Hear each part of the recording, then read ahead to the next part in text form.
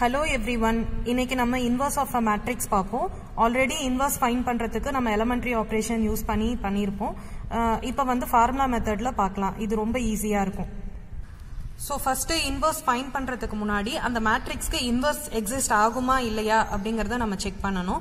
So அது check பண்ணணும் அப்படின்னா நம்ம வந்து டிட்டர்மினன்ட் ஆஃப் ஏ ஃபைன் பண்ணணும். ஸோ நம்ம கொடுத்துருக்கிற மேட்ரிக்ஸ்க்கு டிட்டர்மினன்ட் ஆஃப் ஏ நம்ம கண்டுபிடிக்கணும். அது வந்து நாட் ஈக்குவல் டு ஜீரோவா இருந்தா இன்வர்ஸ் எக்ஸிஸ்ட் ஆகும். ஈக்குவல் டு ஜீரோ ஆயிடுச்சுன்னா இன்வர்ஸ் இருக்காது.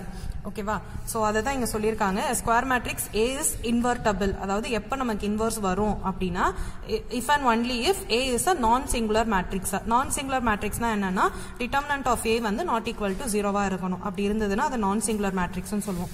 சப்போஸ் ஈக்குவல் டு ஜீரோ ஆயிடுச்சுன்னா அது வந்து சிங்குலர் மேட்ரிக்ஸ்னு சொல்லுவோம்.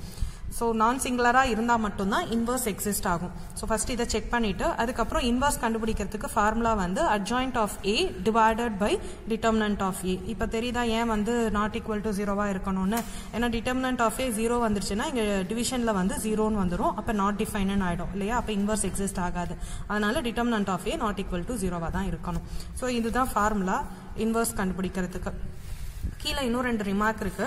If A and B are non singular matrix of same ஆர்டரா இருந்தது. ஏ பி வந்து நான் சிங்குலர் மேட்ரிக்ஸ் அதாவது அதோட டிட்டர்மினன்ட் வந்து நாட் ஈக்குவல் டு ஜீரோவா இருக்கணும். அப்படி இருந்ததுன்னா இதோட ப்ராடக்ட் இருக்கு இல்லையா? ஏ பின்னு எடுத்துக்கலாம் இல்லைன்னா பிஏ எடுத்துக்கலாம்.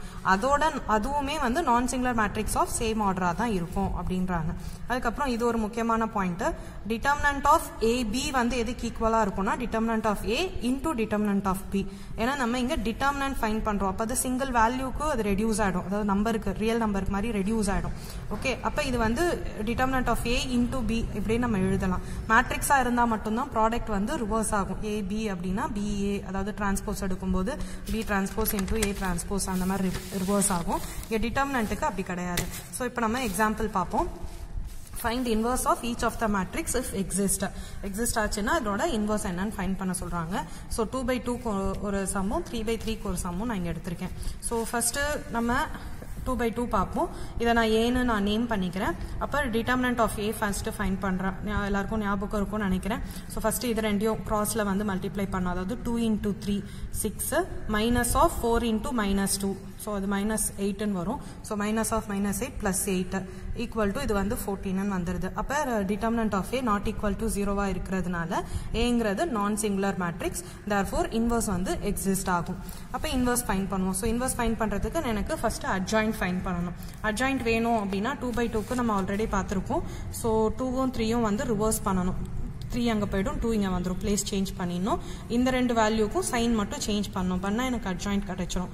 ஸோ டூ பை டூக்கு அட்ஜாயின் நான் ஃபைன் பண்ணிட்டேன். டிட்டர்மினன்ட்டும் ஃபைன் பண்ணிட்டேன். அப்போ ஏ இன்வர்ஸ் வந்து எதுக்கு ஈக்குவலாக இருக்கும் அப்படின்னா one by determinant of A into adjoint of A அதான் இங்கே எழுதியிருக்கும். One by determinant of A வந்து fourteen into adjoint of A எழுதிட்டா அதோட நமக்கு ஏ இன்வர்ஸ் ஃபைன் கிடச்சிரும். இப்போ த்ரீ பை த்ரீக்கும் இதே மாதிரி தான் so three first three by த்ரீக்கு ஃபைன் பண்ணுறதுக்கு determinant of A non first find பண்ணுறேன் இதில் பார்த்தோன்னா அதிக ஜீரோஸ் வந்து ரோ த்ரீல இருக்கு. அப்போ row three along row three நான் வந்து எக்ஸ்பேண்ட் பண்ணிட்டு I'm finding what is determinant of A அது வந்து எனக்கு டென்னு கிடைக்குது. இதுவும் again not equal to zero therefore ஏங்கிறது நான் சிங்குலர் மேட்ரிக்ஸ் அதனால இன்வர்ஸ் எக்ஸிஸ்ட் ஆகும். அப்புறம் அட்ஜாயிண்ட் ஆஃப் ஏ நம்ம ஃபைன் பண்ணணும். ஆல்ரெடி நான் அந்த ஷார்ட்கட் மெத்தட் நான் உங்களுக்கு சொல்லி கொடுத்துருக்கேன். கொடுத்துருக்கிற மேட்ரிக்ஸை அப்படியே எழுதணும். அதுக்கப்புறம் காலம் ஒன் காலம் டூவை ரிப்பீட் பண்ணும் இங்கே இருக்கிற காலம் ஒன் காலம் டூவை ரிப்பீட் பண்ணணும். இது எழுதுனதுக்கப்புறம் ரோ ஒன் ரோ டூ நம்ம எழுதணும். எழுதுனா நமக்கு ஃபைவ் பை ஃபைவ் மேட்ரிக்ஸ் வந்துடும் அதில் ரோவும் காலமையும் நான் விட்டுட்டு மீதி இருக்கிறத மல்டிப்ளை பண்ணி இங்கே நான் எழுதணும். அதை தான் இங்கே சிம்பிளிஃபை பண்ணி எழுதியிருக்கேன். இதுக்கு டிரான்ஸ்போஸ் எடுத்தேன் அப்படின்னா எனக்கு வந்து அட்ஜாயிண்ட் கிடச்சிரும். ஸோ அட்ஜாயிண்ட் ஆஃப் ஏ வந்து இந்த மாதிரி எனக்கு கிடச்சிருச்சு. அப்போ இன்வர்ஸ் வேணும் அப்படின்னா one by determinant of A into adjoint of A இதோடய நம்ம நிப்பாட்டிக்கலாம். இல்லை இந்த டென்னை வந்து உள்ளேயும் கொண்டு போயிட்டு நான் டிவைட் பண்ணி ஆன்சரை இப்படி கொடுத்துக்கலாம் ஸோ இது வந்து ஏ இன்வர்ஸோட ஆன்சர் நம்ம எலமெண்ட்ரி ஆப்ரேஷனை விட இது ரொம்ப ஈஸியாக நம்மளால் ஃபைன் பண்ண முடியும். மிஸ்டேக்ஸும் ரெடியூஸ் ஆகும் டைம் சேவ் ஆகும்.